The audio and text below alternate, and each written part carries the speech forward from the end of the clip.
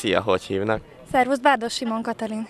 Honnan érkeztél ide a Téka táborba? Egerből. Milyen hangszeren játszottál az imént?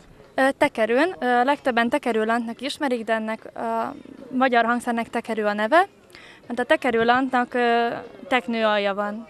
Milyen képességek szükségeltetek ahhoz, hogy megszólaltasd ezt a hangszert? Hát ugyanolyan képességek, mint bármilyen hangszerhez.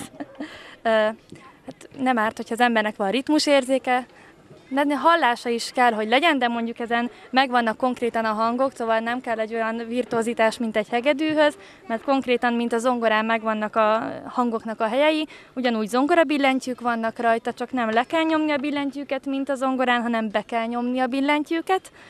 És ennek is van vonója, mint a hegedűnek, de mi ezt úgy hívjuk, hogy ez egy végtelenített vonó, ugyanis ez a kerék a vonója a hangszernek, és megmutatom úgy, hogy nem ér hozzá egy húr sem. Ezt, ezt kell állandóan forgatni, és ahogy nekifeszítjük a húrt, úgy szólal meg. Ez eddig egy húr, hozzá lehet tenni még egy húrt. Ez adja a bőgő hangzást.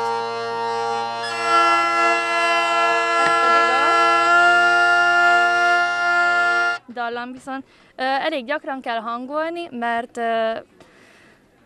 bélből vannak a húrok disznóbélből, és a pára hatására, meg a meleg hatására állandóan ereszt, amit most is lehetett hallani. És akkor így már egy egész zenekarunk van. Van egy brácsásunk, egy primásunk és egy bőgősünk.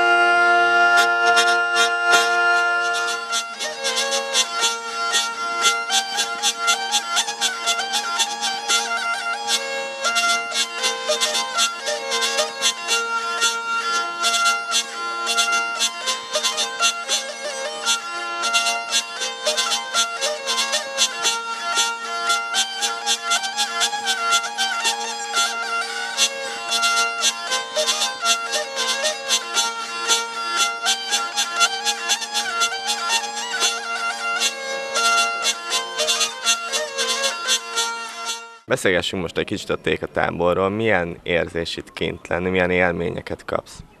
Hát a természetnek a lágyörén jó muzsikálni, ez természetes, meg ugye itt van a sok foglalkozás, amin részt lehet venni. A gyerekek játszhatnak, ahol akarnak, lehet a tóparton játszani, lehet a homokozóba játszani, esténként lehet táncolni a zene alá, élő zene alá, ami a legfontosabb, ami ugye nem mindig adatik meg az embernek, úgyhogy az, aki szeretné az őseinek a hagyományát és az őseinek az erejét magába szívni, annak itt a helye.